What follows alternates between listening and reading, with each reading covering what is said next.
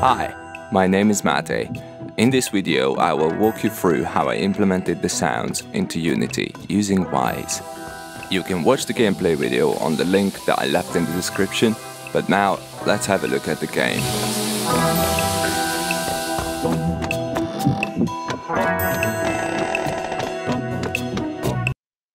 So John Lemon is a tutorial game that is available on the Unity website and it teaches you the basics of how to build a game.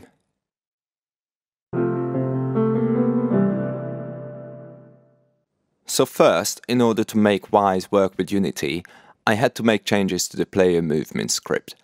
I removed the M audio source lines and replaced them with the AK sound engine.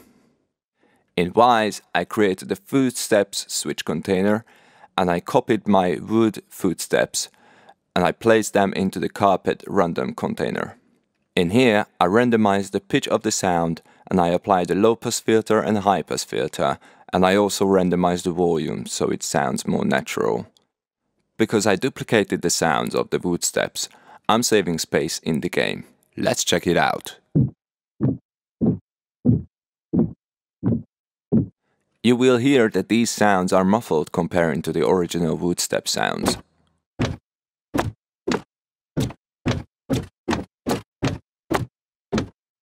The kitchen and the bathroom has tiles. As the game level is set in an old house, I created creaks for the wood floor, so when John Lemon walks around on the level, you will hear these creaks from time to time. I created a good number of samples just to avoid repetition.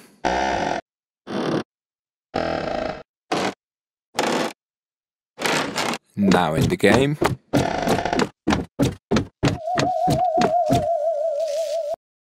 So the way I created this Ableton, I had these original wood step creak sounds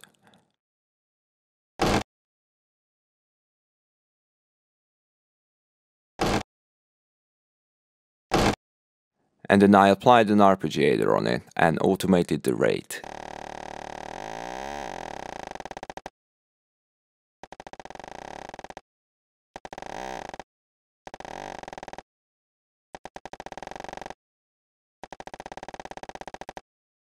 So in Wwise, in order not to hear these creak sounds all the time, I dragged the creak switch container into the footsteps event and I changed the probability down to 7.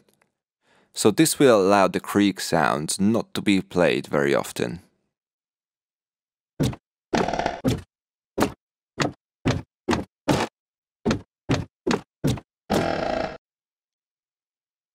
For Unity to know what to do with these sounds and when to change them, I had to create a script for the surfaces.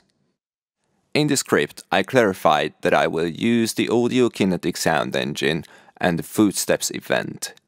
So how does it look like in Wwise? In order to make the switch container work, I had to create separate switches for the different kind of surfaces. Within the Footsteps switch group, I have the carpet, tile and wood floor types. Then I had to tell Wwise which sound to play when a certain switch is being called by the Unity game engine. So I go to Footsteps, set the switch group, and I also set the wood floor to be my default sound and then just drag and drop into their respective boxes. In Unity, I created box colliders for these different kind of surfaces, but I only needed two for the tiles and the carpet as I had my wood floor as a default, on the box collider, I also added the AK switch and the AK trigger enter components, which are both part of the Audio Kinetic integration package. For Unity to know where exactly John Lemon is, I had to create a footstep position triggering box collider, which is attached to John Lemon's body, and then I just dragged and dropped onto the AK trigger enter component. I've also created the same component but with the AK trigger exit command, so Unity will know exactly that it has to play the footstep sounds as we already set them as default in Wwise.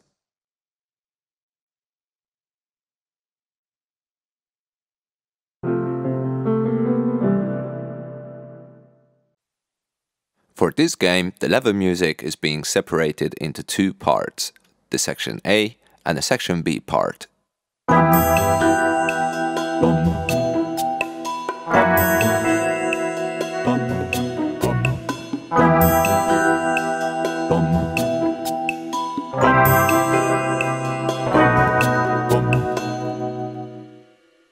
When I exported these stems, you can see that I left an additional two bars in the end of these sections for the tail of the reverb to fade out nicely. I have set the exit cue marker to the point where I want my section to be repeated from. I've also added an extra bar in the beginning of the section so I can stick the level start stinger on the front.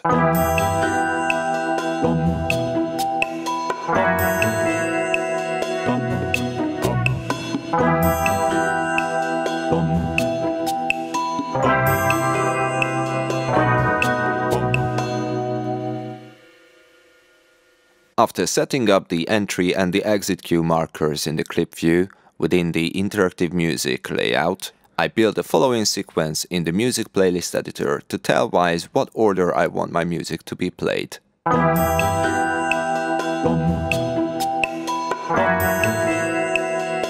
Let's just speed it up a bit.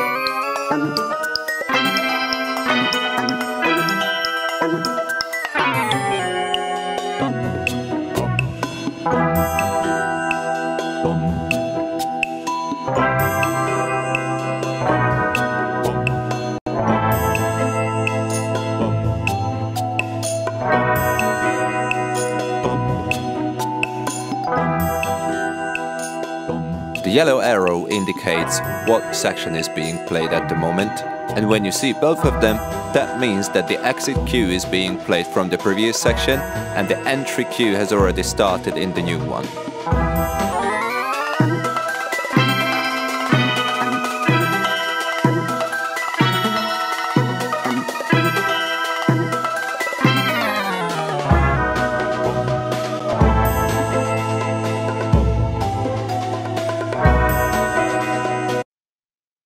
For the section B part, I created two variations of the pizzicato strings. I wanted Wwise to play them randomly, so when you right-click on the track, you can create subtracks, therefore more variations for your individual instruments. Let's check it out by hitting the F button on the track.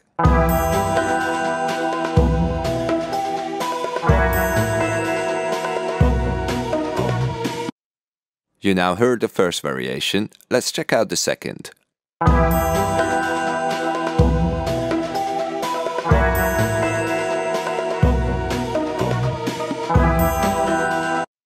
Not too much of a difference in this case, but this tool can create an incredible variation to your game music. The level music playlist container is running into the ambient audio bus, which I created within the master audio bus, and I will tell you why I did that in the next chapter.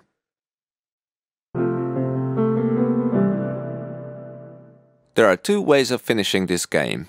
One is getting caught by a ghost,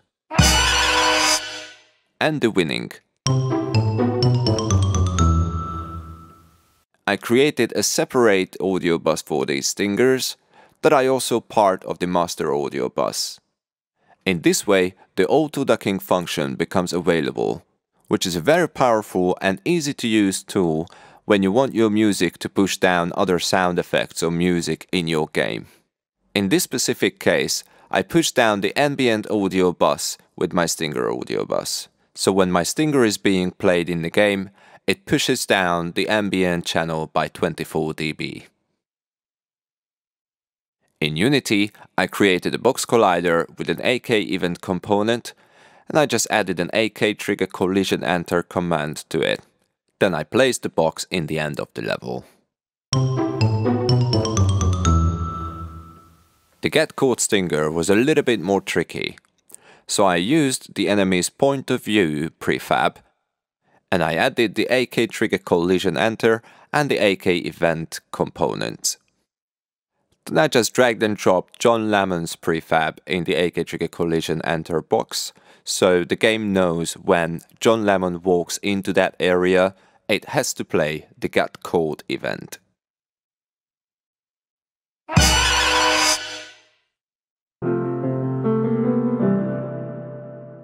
Let me talk about a little bit how I created the sound effects for this game. Yes, I did record myself in the bathroom.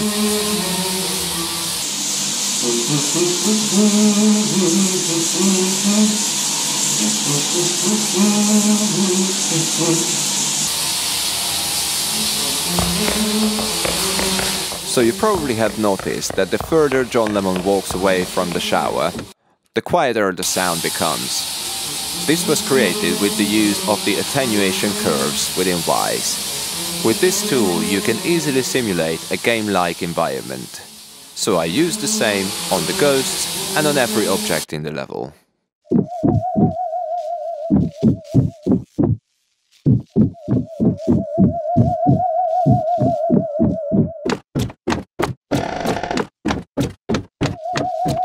So let's check out how did I do these ghost sounds. I have a very basic operator instrument set up with a couple of extra effects. For example a vocoder, the LFO in the operator and two additional LFOs to change the pitch of the oscillator. Without these movements, our sound is quite boring.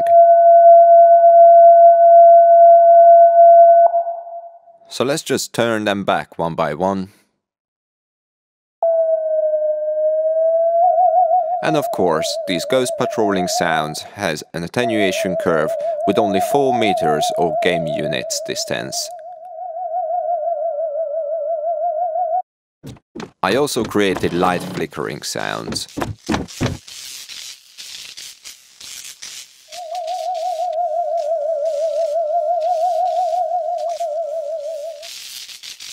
For that purpose I used Serum as my main instrument with loads of LFOs on it.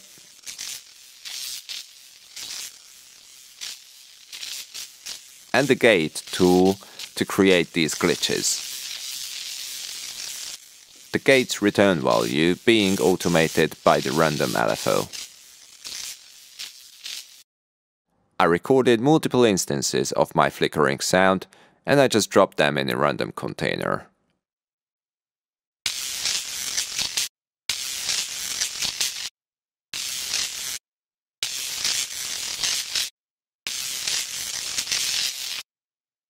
The attenuation curve that I used for the flickering sounds is slightly different than the others. Because the lights are placed on the wall, I activated the cone attenuation function to place my sound virtually on the wall so the sound doesn't go through on the other side of it. The attenuation preview helps you try your sound before you place it in the game engine. The dark grey area is the outer angle, which represents the wall itself, and the light gray area, which is the inner angle, represents everything else. This video covers how I created and implemented my sounds into Unity using Wwise, however, I only scratched the surface, so if you need help with your implementation, feel free to get in touch with me via email or down in the comments section. Thanks for watching.